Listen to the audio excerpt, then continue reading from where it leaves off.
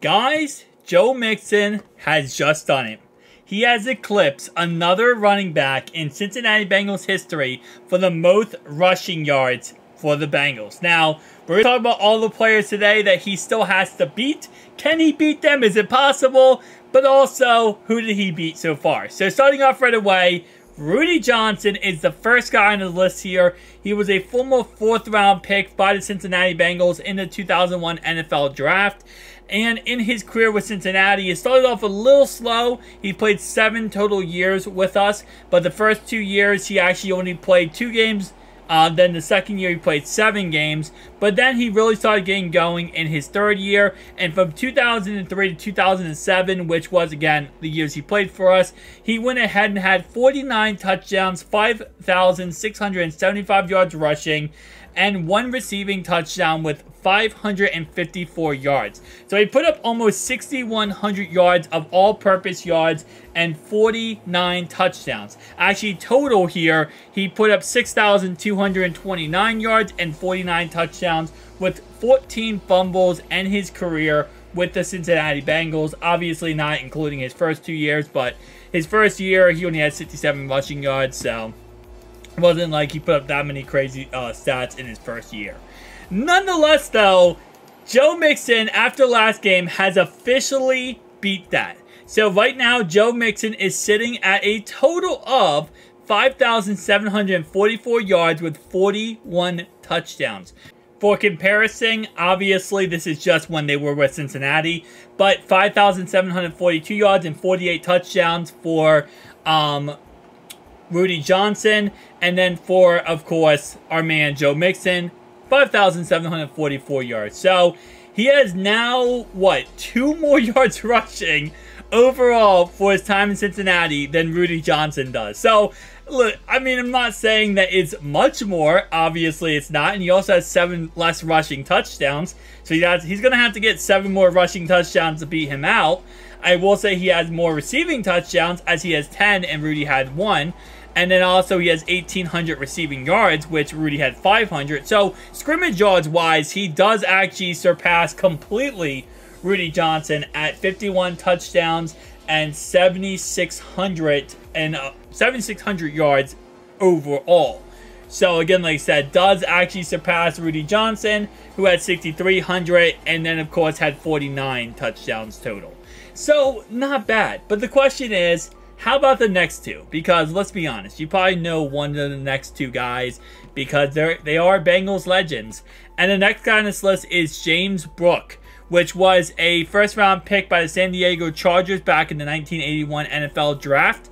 Obviously, back then, you know, times have changed. Back then, running the ball was more prevalent.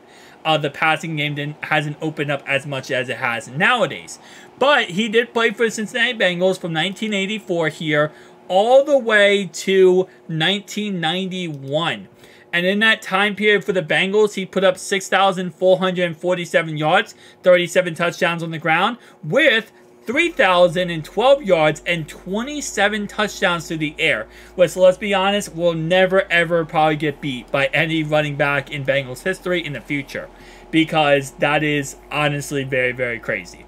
Um, nonetheless, though, he put up 9,459 yards, and of course, he also did put up 64 touchdowns and 31 fumbles. So, comparing that real fast, again, back to Joe Mixon here, it's going to take some time for him to get to that point. I mean, for rushing yards, just rushing yards, he only really needs 700 more rushing yards, and if he does play three more years, actually is very reasonable. He could hit that, and he could actually beat that record. He already has more rushing touchdowns than um, James Brooks did, which is awesome. Now, receiving yards, again, he would need around 1,200 more receiving yards to beat that, which is possible, but I don't think, I don't know if he's going to hit that. And then receiving touchdowns, he would need 17 to beat him. So, overall wise, it actually, you know, I just said that I don't think any Bengals running back is going to do it. It's actually possible. It's actually, actually, actually possible for him to do it here. That's crazy to say that, but maybe I was spoke too soon there because Joe Mixon could potentially, and he only had six fumbles in his, uh, what, six seasons so far. So let's now look at the last and final candidate, And the guy that's going to be very, very difficult for Joe Mixon to beat, you already know, one of the best running back, if not the best running back of all time for the Cincinnati Bengals, Corey Dillon. A former second round pick in the 1997 NFL Draft by the Cincinnati Bengals, Corey Dillon, as they call him, clock killing Corey Dillon. And I'm not surprised, okay? I'm not surprised they call him that because that's what he was. He was a monster. He was an absolute animal. He played for us for a total of seven seasons before the controversial situation went down. He got traded to the New England Patriots, and then he played three seasons with them, and he won a Super Bowl with them. So, shout out to them. He did go ahead and get a ring in the end, but as you guys can see, he did put up a total of 11,000 total yards with all the teams that he has played for, but he did also put up, what, around 3,400 yards with the uh, Patriots. So how much yards did he put up with us? That actually has to get beaten by Joe Mixon here. And that's a total of 8,061 yards, 45 rushing touchdowns, which again, like I said before, let's just keep in mind the fact that Joe Mixon does have 41, so it's possible that he could, you know, in the end there, you know, maybe potentially beat him out there but he would have to put up around 2,400 yards to beat Corey Dillon. Now, is it possible to put up 2,400 yards? Yeah, it is. It's very possible. Um, if you have two 1,000 yard seasons, let's say, in the hypothetically speaking, the rest of this year he has four, 500, six, or 600 more yards, he could beat Corey Dillon. It just would it's going to be hard, but it's not impossible. He also needs four more rushing touchdowns, well, five more, to beat Corey Dillon's rushing yards. Uh, Corey Dillon had 14, 1,482 yards and five receiving touchdowns, and, you know, Joe Mixon has already beaten that. Receiving touchdowns and receiving yards.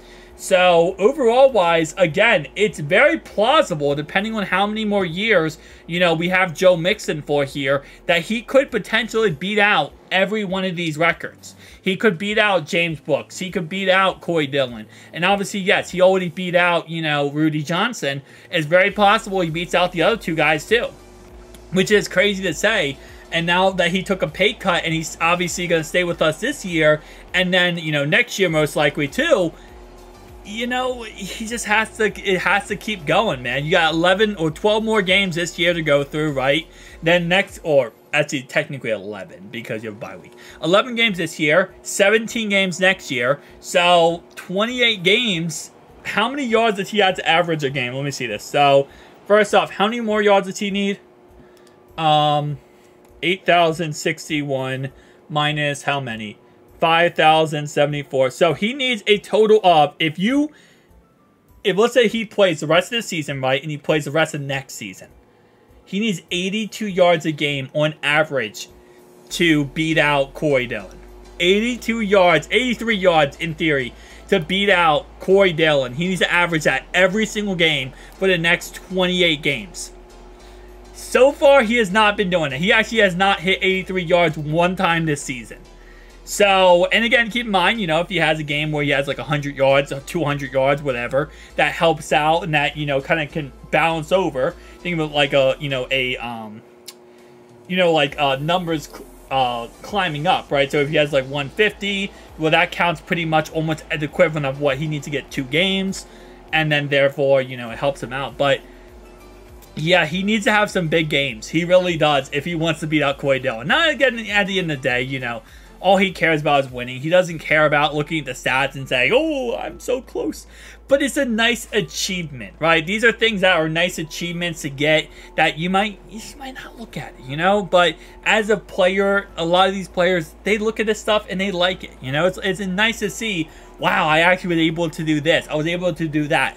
You know, this is something that they take pride in. So, while yes, it might be something small, it's fun stuff to kind of look at and, you know, break down. But with that being said, guys, we have a bye week this week, so it's going to be an interesting week. We can finally calm down, relax, and chill, and we'll see what, uh, I almost like Corey Dillon, Joe Mixon can do versus the San Francisco 49ers. See you guys next one. Peace.